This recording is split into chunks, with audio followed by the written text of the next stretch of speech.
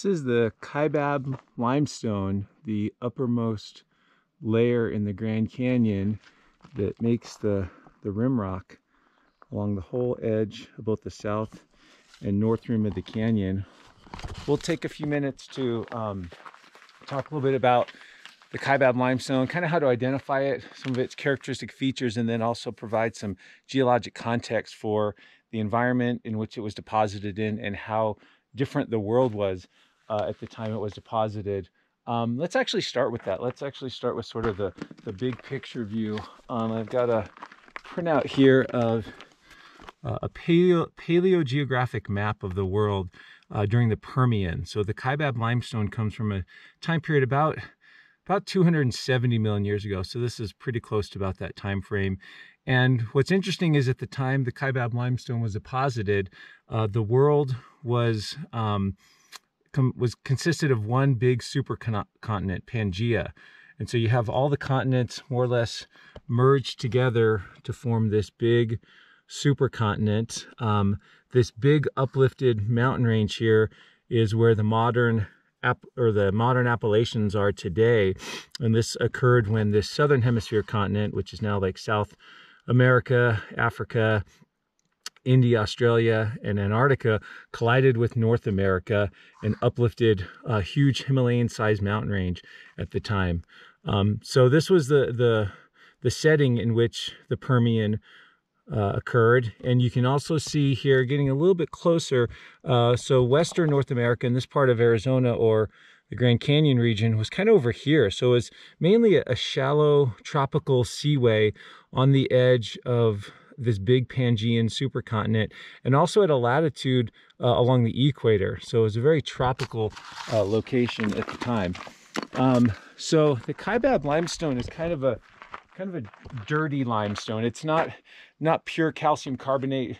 Most pure limestones are typically some shade of gray, uh, and it's more of a beige color, a little bit has uh, uh, some sand in it. So if you think about this ocean lying on the edge of um, the continent at the time, and you had uh, rivers and streams feeding into the ocean carrying sediment, you can imagine then how you might mix some sand and, and mud and silt in with the, the limestone itself.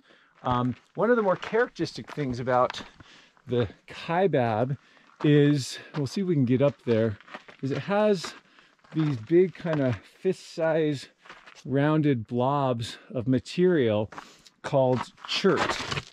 And so we kind of get up here a little further, you can see there's these kind of blobs of material that stick out a little bit.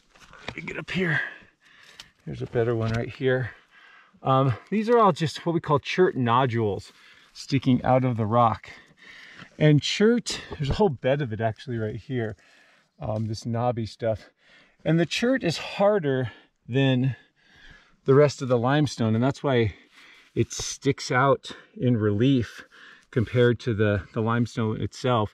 The chert is composed of silica, and so essentially the same stuff that forms quartz, and so it's much more resistant. Limestones typically form in oceans. Let me jump back down here where we have um, the little exoskeletons of marine microorganisms rain down on the seafloor and accumulate. And those uh, organisms, their exoskeletons are mainly made out of calcium carbonate or a mineral called calcite. Um, but there's also organisms that are made out of silica, and that's part of what forms these chert beds in here. Another kind of zone right in here um, with some of these big blobs of chert kind of sticking out. And so that's some of the, the characteristic features here um, I didn't really scour this outcrop beforehand, but the Kaibab limestone, like most limestones, also has fossils in it. And if you see fossils in here, it should be more like um, little marine organisms like uh, clam type creatures called brachiopods, um, sometimes little kind of cone shaped things called horn corals, that sort of thing. Uh, we'll see if we can find a few in here. This might be part of a brachiopod right in here, that sort of thing. Morning. so this is the kaibab, this typical cream color layer. Um, it's important to kind of keep track of the rock layers when you're hiking because it kind of lets you know about where you are because you oftentimes can't see the rim of the canyon. So Kaibab limestone from the Permian about 270 million years ago.